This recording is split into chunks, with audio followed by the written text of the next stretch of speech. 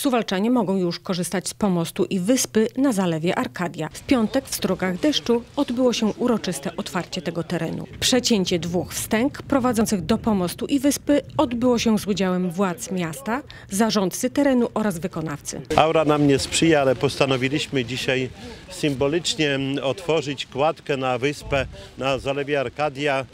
Ta wyspa powstała w ekspresowym tempie, praktycznie miesiąc czasu i została pięknie zagospodarowana po to, żeby właśnie otworzyć możliwość wejścia na ten obszar niedostępny dotychczas. No myślę, że to dodatkowa atrakcja tutaj w centrum naszego miasta nad zalewem Arkadia. Miejsce do relaksu, do spacerów, do spotkań, do rekreacji i o to nam chodziło. A pomysł wziął się z mojego wyjazdu do Doliny Charlotte dwa lata temu. Pojechałem i zobaczyłem właśnie, że tam mm, tego typu e, wyspy zostały sztucznie wykonane też na takim dużym zbiorniku wodnym i z takimi y, właśnie kładkami szerokimi i tam powiem więcej, tam są również restauracje na tych wyspach.